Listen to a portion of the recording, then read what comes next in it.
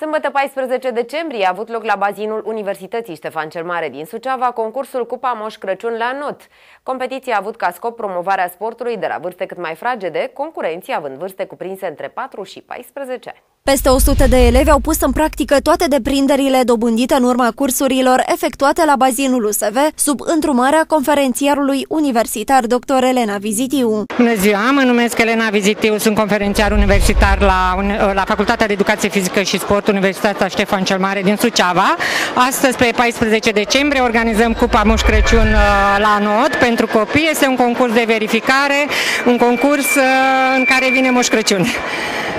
Câți participanți vor fi?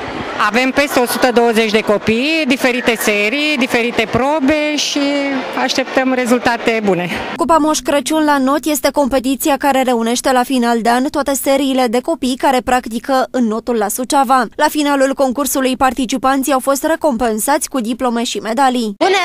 Pregătiți pentru competiție de astăzi? Uh, da. Cum ați pregătit? Foarte bine, am făcut uh, foarte mult antrenament și sperăm să luăm locul 1. Câte oră pe zi, 5 zile din dintr-o săptămână. Păi am venit uh, foarte mult la not și chiar mi-a plăcut. Cam câte ore pe zi? Două, poate. Sper că vei câștiga. Da. Uh, am făcut flotări dimineața, am pregătit destul de bine. Marțea și joia. Am venit săptămâna asta de, fie, de două ori, în fiecare, două ori în fiecare săptămână. Și am notat în continuu ca să pot să fiu pregătită pentru astăzi.